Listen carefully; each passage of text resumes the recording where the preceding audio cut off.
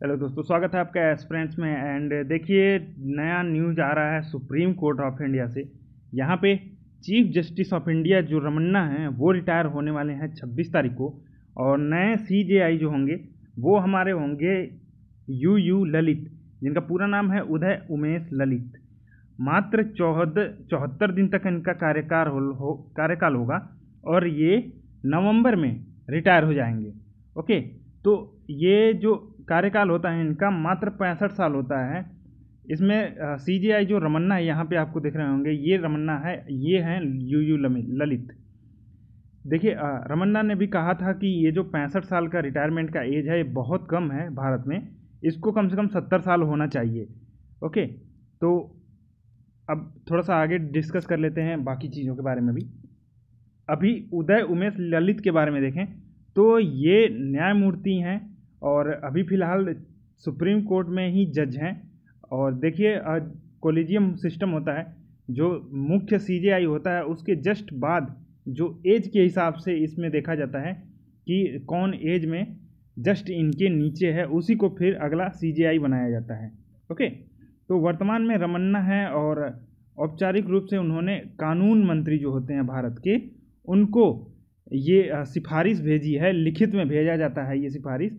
कि आगे की कार्यवाही, अगले सीजेआई का जो नियुक्ति है, उसके लिए राष्ट्रपति को ये संदेश भेजा जाए कि हम रिटायर होने वाले हैं और अगले चीफ जस्टिस का जो प्रक्रिया है, उसको शुरू किया जाए। ओके तो अभी 26 अगस्त को इनको रिटायर होना है और ये अड़तालीसवें चीफ जस्टिस थे, ठीक है? जो रमन्ना है, वो अड़तालीसवें थे, जबकि आगे आने वाले जो हैं, यू यू ललित, ये होंगे हमारे उनचासवें chief justice of India.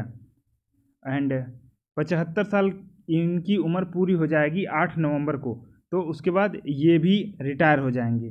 ध्यान रखिएगा, जो रमन्ना थे, उन्होंने स्थान लिया था एस ए बोबड़े का, ओके? उसके पहले बोबड़े जो थे, वो थे हमारे चीफ जस्टिस ऑफ़ इंडिया। अभी अगर यू यू ललित का देखें, हम इनका कार्यकाल तो अट्ठारह उन्नीस में इन्होंने बॉम्बे हाईकोर्ट में प्रैक्टिस प्रारंभ किया था। उन्नीस में दिल्ली आ गए और यहाँ पे हाईकोर्ट में प्रैक्टिस करना इन्होंने शुरू किया।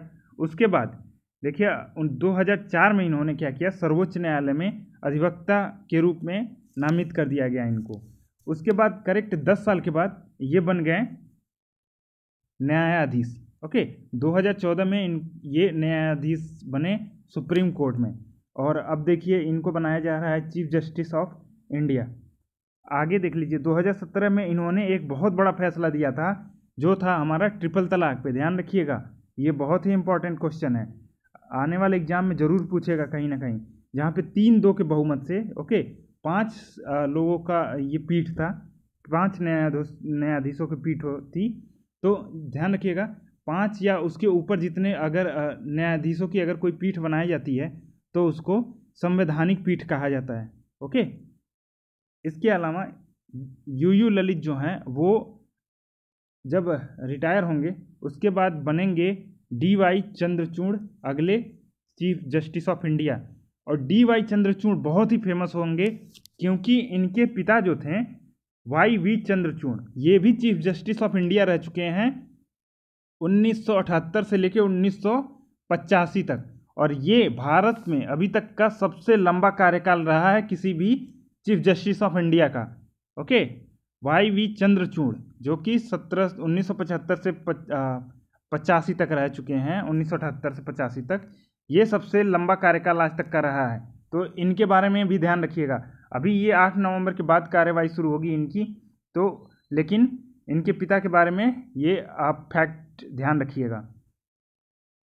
उसके अलावा जो इम्पोर्टेंट इन्फॉर्मेशन है ये कि अभी तक का जो सबसे छोटा कार्यकाल रहा है, वो रहा है कमल नारायण सिंह का, जो कि सी जे आई थे उन्नीस सौ इक्यानवे में ओके तो ये फैक्चुअल इन्फॉर्मेशन था थोड़ा सा इसके अलावा आप देख लीजिए सी जे आई की नियुक्ति किस प्रकार से की जाती है?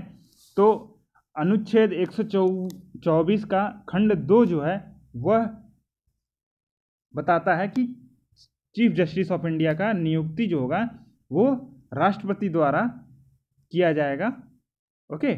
और अनुच्छेद होगा 124 खंड दो। एंड जो निवर्तमान, यानी कि जो वर्तमान में चीफ जस्टिस ऑफ़ इंडिया होता है, वही अपने उत्तराधिकारी के लिए सिफारिश करता है कानून मंत्री को। और कानून मंत्री ये सिफारिश करता है राष्ट्रपति को। तो राष्ट्रपति क्या करेगा? कहेगा, एक लिखित स्टेटमेंट जारी किया जाता है राष्ट्रपति के कार्यालय से कि नए चीफ जस्टिस ऑफ़ इंडिया की जो नियुक्ति है, उसका कार्यक्रम शुरू किया जाए। फिर क्या होगा? कोलिजियम का गठन किया जाएगा। कोलिजियम सुप्रीम कोर्ट में ही गठित होगा। याद रखिएगा, सुप्रीम कोर्ट में ही गठित होगा। इसमें क्या होगा कि चीफ जस्टिस ऑफ़ इंडिया जो होता है, उसके अलावा चार अन्य जो वरिष्ठतम, ध्यान रखिएगा, वरिष्ठतम एज के अनुसार, वरिष्ठतम जो न्यायाधीश होंगे, वो इसमें शामिल होंगे और डिसाइड करेंगे कि अगला न्यायाधीश कौन बनेगा। ठीक है? तो इन्हीं चार में से एक को बनना होता है ये। कॉलेजियम प्रणाली, ध्यान रखिएगा कि इसका संविधान में कोई भी उल्लेख नहीं है, ओके? ये मात्र सुप्रीम कोर्ट के निर्णयों के आधार पे इसको बनाया गया है, ओके? कॉलेजियम शब्द का तो यहाँ चर्चा है कि किस प्रकार से नियुक्ति होगी, लेकिन इसकी विस्तृत व्याख्या संविधान में देखने को बिल्कुल नहीं मिलती, ओके? तो इसी कोलिजियम सिस्टम को बदलने के लिए ध्यान होगा आपको निन्यानवेवा संविधान संशोधन भी किया गया था, एन का गठन किया गया था, लेकिन बाद में सुप्रीम कोर्ट ने इसको नल एंड वाइड करार दे दिया था, इसको खारिज कर दिया था। ओके? तो ये इंपॉर्टेंट इन्फॉर्मेशन था सीजीआई से।